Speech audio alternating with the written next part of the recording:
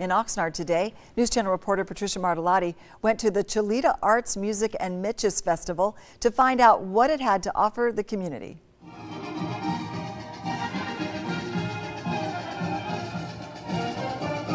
The Chelita Arts, Music, and Miches Festival transformed Heritage Square into a cultural day in Oxnard.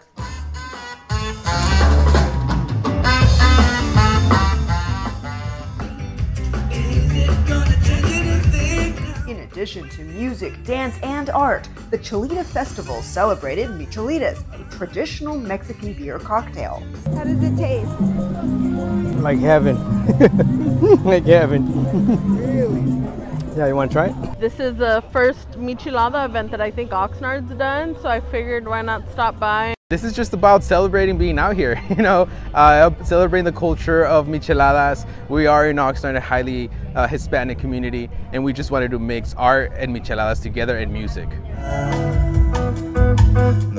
Organizers say they're pleased to see more than 30 vendors participating in this year's Chelita Festival.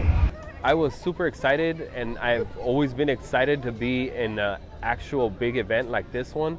The festival included two stages of live entertainment, interactive exhibits, and of course the food. Definitely worth the $12.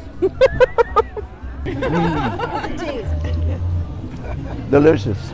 Organizers hope to continue the annual festival celebrating cultural heritage with local artists across the city.